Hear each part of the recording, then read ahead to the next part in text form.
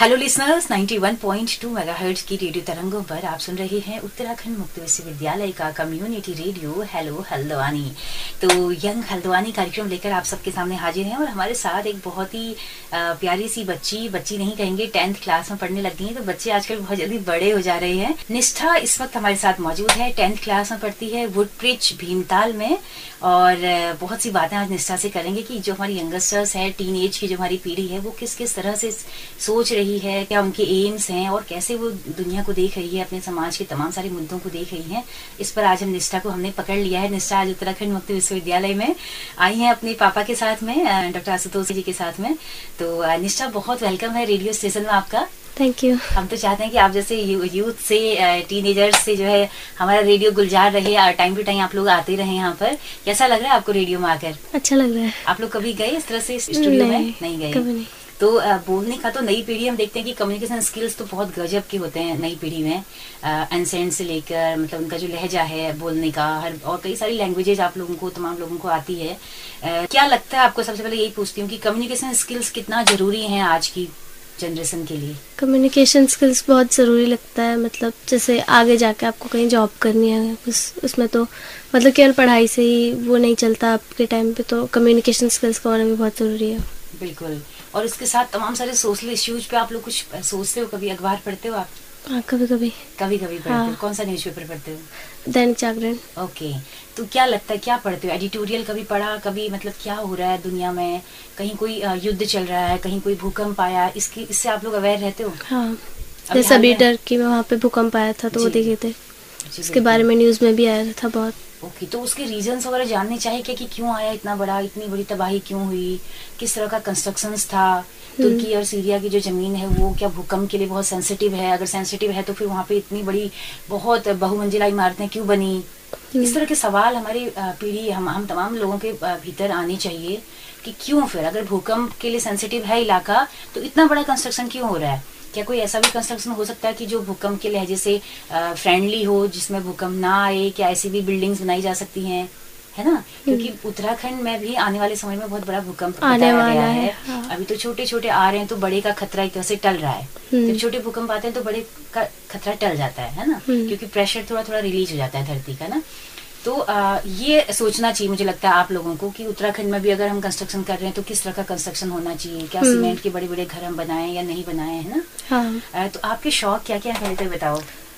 मुझे पढ़ना, पढ़ना अच्छा लगता है। हम्म। बाकी डांस करती हूँ मैं कथक सीख रही हूँ। अरे वाह अच्छा। हाँ और रीडिंग का शौक है बुक्स पढ़ती हूँ। क्या बात है? तो कथक आप कहाँ से सीख रही हैं? भीमताल में हमारी और डांस अकेडमी है वहीं से मेरा तो कथक। प्रभाकर उसमें करेंगी आप? मैं अभी हाँ कथक की विशारद होती है तो मेरा अभी सेकेंड ईयर चल रहा है उसमें। जैसे भातखंडे वाले जो कराते हैं वो हाँ, विशारद बोलते हैं विशारद कराते हैं और हाँ। अगर प्रयाग संगीत समिति वाले सिखाते हैं तो उसको प्रभाकर की डिग्री कहा जाता है। हाँ। डिग्री होती इक्वल है छह छह साल की। हम्म। अच्छा तो कौन सा ईयर है अभी आपका? अभी सेकंड ईयर चल रहा है मेरा। कैसा लगता है आपको कथक? अच्छा लगता है डांस करना तो बहुत अच्छा लगता है। और भीमताल में से पहले अभी था नहीं ऐसा क्लासिकल डांस का तो मैं नॉर्मल क्लासेस में जाती थी।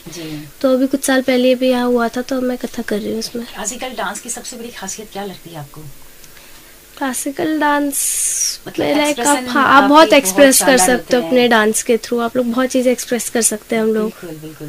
मतलब चेहरे से आप सब कुछ बयां कर सकते हो हाँ। जो गाने गाए जा रहे हैं आप उसको चेहरे से अपने हाथों का एक्सप्रेशन हाँ। से बहुत शानदार तरीके बहुत से दिखा सकते हैं। बहुत कुछ। जी तो इसमें आगे कुछ करियर बनाना है या शौकिया आप नहीं तो शौक शौकिया कुछ बजाना भी नहीं बजाते नहीं। बजाते नहीं अच्छा।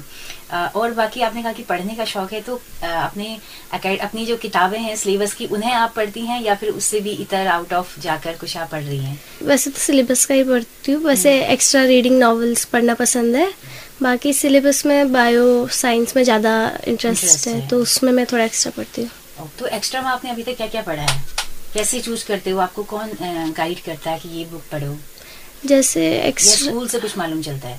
जैसे स्कूल से कितना बहुत स्कूल से पता चलता है। बाकी जैसे ट्यूशन जाते हैं और जैसे मुझे बायो पसंद है तो इंसाइक्लोपीडियाज पढ़ी है मेरे पास तो वैसी बुक्स पढ़ती हूँ। ओके तो अच्छी अच्छी किताबों का कलेक्शन आपके पास हाँ। पड़ा हुआ है। आपकी लाइब्रेरी है छोटी सी है ना? हाँ। कौन कौन से नोवेल आपने पढ़े हैं? नॉवेल्स तो बहुत पढ़े जैसे फिक्शन में पढ़ते हैं तो जैसे हैरी पॉटर मुझे बहुत पसंद है वो मैंने बहुत बार पढ़ रखे हैं। एंड देन नॉन फिक्शन पढ़ती हूँ मैं और बायोग्राफीज पढ़ती हूँ। तो काफ़ी आप अभी तक पढ़ चुकी हैं। हाँ। कितने सीटिंग में आप एक नोवेल को पूरा कर लेती हैं? वो डिपेंड करता है कितना इंटरेस्ट आता है। इसे यूजुअली अगर फिक्शन बुक्स होती है तो उनको मैं जैसे थ्री फोर डेज़ में खत्म हो जाती है। अदरवाइज़ थोड़ी ऐसी एजुकेशनल बुक्स में थोड़ा सा और टाइम लगता है उनको okay. क्योंकि अच्छे से समझ के पढ़ना होता है। ओके तो लिटरेचर में आपका इंटरेस्ट है। हाँ। लिख, लिखा भी है कुछ? नहीं लिखा नहीं। कोशिश की कोई कविता लिख डालूं? नहीं बचपन में लिखती थी पोएम्स ओके ओके। पोएम्स में भी हम देखते हैं ना कि लगातार ट्रेंड चेंज हो रहा है। पहले से तुकबंदी वाली कविताएँ हुआ करती थी ना उनमें छंद लय सबका ध्यान देना होता था। हाँ। लेकिन पिछले कुछ दशकों से मुक्त छंद मुक्त कविताओं का चलन बढ़ा है और छंद मुक्त में हम देखते हैं कि समाज के बहुत सारे इश्यूज़ बड़े अच्छे से आ जाते हैं। हम्म, क्योंकि आपको उसमें छंद अलंकार की उसमें कंप्रोमाइज नहीं करना पड़ता कि मुझे इस तुकबंदी में बैठाना है। तो मुक्त भाव से आप लिखते हैं। है ना सड़क पे आप देख रहे हैं कि कोई रेस्तरा है वहाँ पे एक छोटा बच्चा काम कर रहा है। आप देख रहे हो कि सुबह आ जाता है आटा भी गूंद रहा है आलू समोसे भी बना रहा है है ना तो वो हमारे अंदर होनी चाहिए फीलिंग कि यार मेरी एज का एक बच्चा वहाँ पे क्यों काम कर रहा है? हाँ। वो क्यों नहीं स्कूल में है? तो ये सवाल मुझे लगता है नई जनरेशन के अंदर होने चाहिए। कभी आप सोचते हो इस तरह से? हाँ ऐसा लगता है कि मतलब एजुकेशन हर किसी के लिए बहुत ज़रूरी होता है। मतलब आपकी वैसे भी आपका माइंड बहुत खुलता है एजुकेशन के उससे। तो और आजकल बहुत ज़रूरी है कि हर कोई मतलब स्पेशली जो बच्चे होते हैं वो लोग हमेशा पढ़ाई करें। बिल्कुल। तो ऐसा लगता है। बिल्कुल। तो क्या है निष्ठा क्या करने का मन है फ्यूचर में? नौकरी करने को ही आप मानते हो कि पढ़े इसलिए रहे कि नौकरी करनी है? या फिर क्यों पढ़ते हैं हम? ये पढ़ने तो इसलिए कि नॉलेज मिले। और थोड़ा हमारा वो ओपन माइंडेड होते हैं हम नॉलेज के से मतलब अ, तो मुख्यतः ये है कि हम इस धरती पे आए हैं हम्म। तो हम खुशी खुशी इस धरती पे रहें हाँ। हमारी ज़िंदगी खूबसूरत बने और केवल हमारी ही नहीं हमारे आसपास जो है उनकी भी बने। सबकी हेल्प करें हाँ। सबकी हेल्प बने हर कोई खुश रहे हर को हर किसी को रोटी मिले। हर किस है ना? तो आ, लेकिन हमारा देखते हैं कि हम जिस तरह की कॉम्पिटेटिव आजकल पढ़ाई हो चुकी है उसमें हम देखते हैं कि लगातार गला काट प्रतियोगिता एक को पछाड़ना है आगे जाना है और मतलब कुछ नौकरी मतलब अच्छा पैकेज पाना है। हम्म। यही सबके ध्यान में रहता है ना? एक अच्छा इंसान बनना है हाँ। ये बहुत पीछे चले गया ऐसा लगता है मुझे।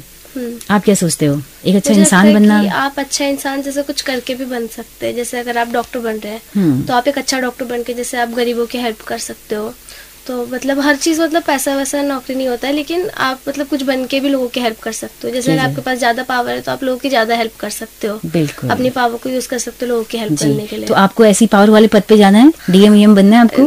कलेक्टेड बनना है? डॉक्टर बनना अच्छा है डॉक्टर बनना है। हाँ। अच्छा तो कौन सी मतलब डॉक्टरी का कौन सा फ़ील्ड आपको अच्छा लगता है?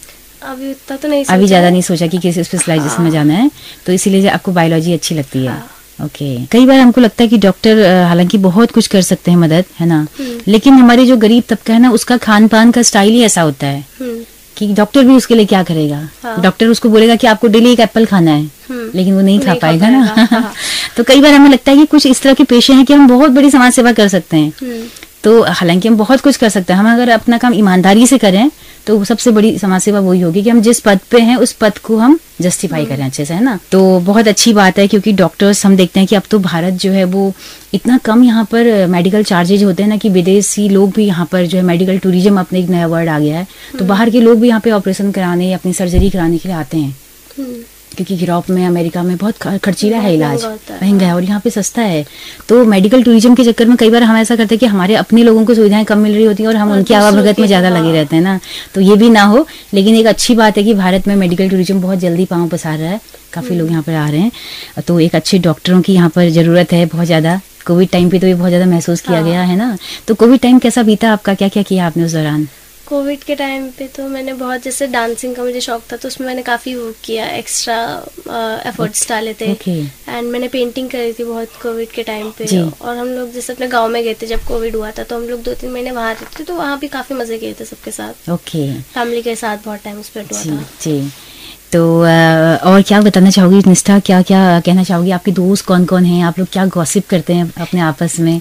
फ्रेंड्स मेरे स्कूल में है मेरे एक बेस्ट फ्रेंड है कृति तो हम दोनों का लाइक हम लोग को स्कूल में बहुत अच्छा रहता है तो हम लोग को जैसे टीचर्स होते हैं तो हमेशा हम दोनों में कंफ्यूज रहते हैं हम्म। कि कौन मैं है कौन और क्योंकि हम दोनों हमेशा साथ में रहते हैं। अच्छा। हाँ मतलब टीचर्स लंच ब्रेक में हो गया या छुट्टी के टाइम पे कभी भी हो गया तो दोनों साथ में घूमते हैं। जी। तो टीचर्स हमेशा कंफ्यूज रहते हैं। हाँ। एक अच्छा दोस्त होना कितना ज़िंदगी को बदल देता है हाँ। जैसे स्कूल में जब पढ़ाई में भी बहुत स्ट्रेस हो जाता है तो दोस्तों तो आप उनसे बातें करके भी एकदम मन हल्का हो जाता है। बिल्कुल और आप लोग इकट्ठा पढ़ लेते होंगे कई हाँ, बार साथ में पढ़ते हैं। हम लोग साथ में ट्यूशन भी जाते हैं तो वैसे भी हमारी साथ में पढ़ाई होती है। ओके तो कृति जी, कृतिका है? कृति? कृति। कृति क्या करना चाहती है क्या बनना चाहती है? कृति भी डॉक्टर बनना चाहती है। तो उसने सोचा है। ओके। अभी हम अंतर्राष्ट्रीय महिला दिवस इस बीच में अभी चल रहा है सप्ताह हम्म। चल रहा है पूरा है ना? आप लोगों ने नाम सुना है?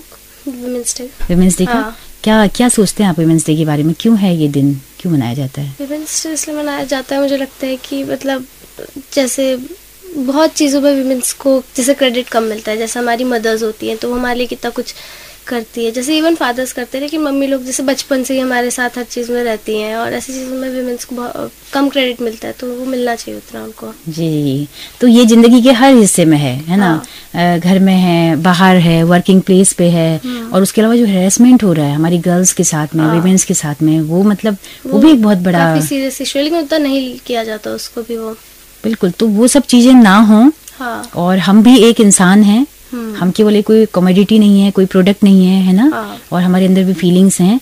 यही सब जताने के लिए ये दिन मनाया जाता है है ना? हाँ।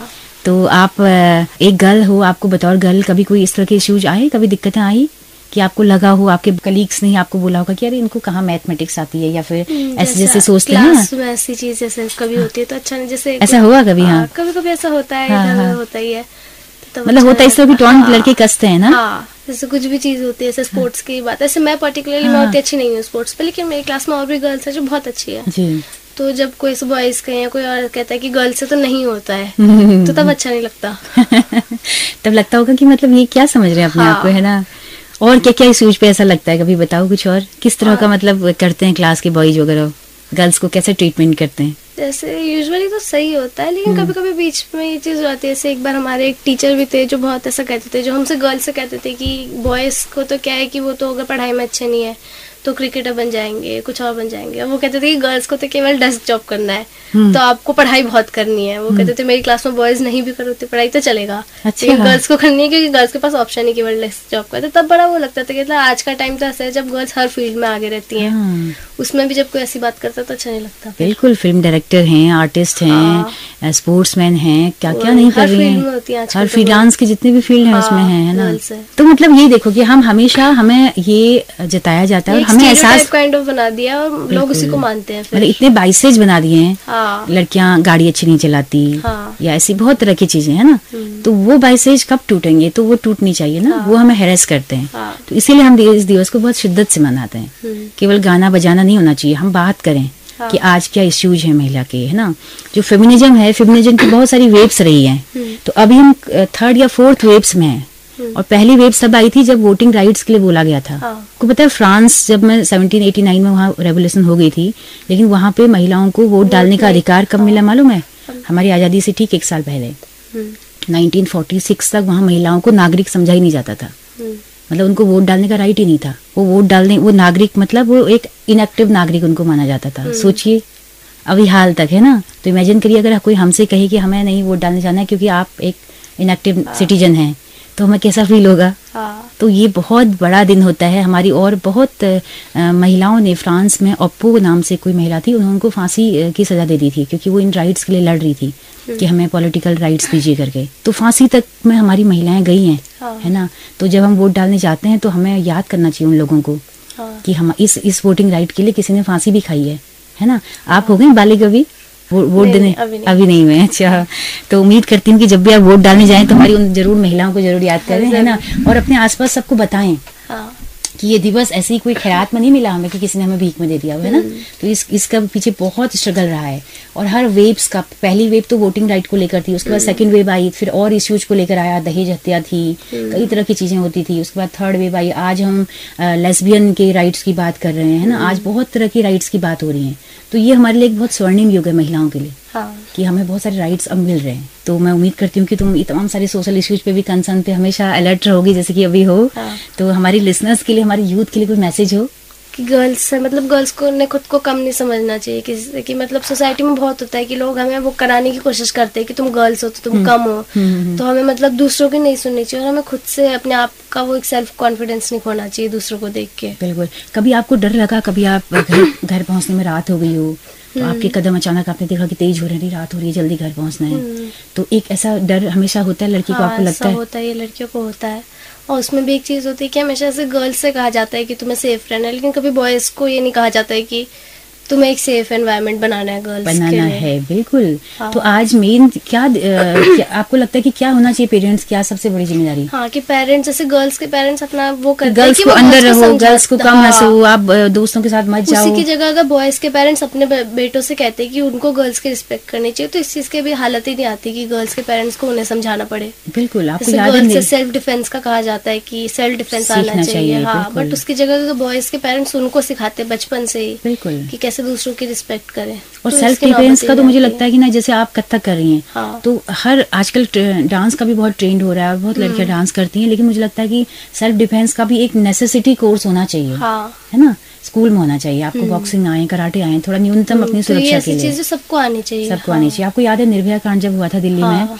तो उसमें एक फतवा कहेंगे या एक नियम जारी किया था कि गर्ल्स पाँच बजे के बाद घरों से बाहर नहीं निकलेंगे। हाँ। हिंसा पुरुष कर रहा है। और घर से बाहर नहीं निकलना महिला सजा वो महिलाओं को मिल रही थी। मतलब घर से बाहर पुरुष ना निकले जो हिंसा कर रहा है। पाँच बजे के बाद है ना? हाँ। तो इस तरह के नियम हम लोग बनाएँगे मिल। तो बहुत अच्छा लगा निष्ठा इतनी अच्छी बातें की। कभी कुछ बुक्स का हमारा एक प्रोग्राम है कुछ कहती हैं किताबें।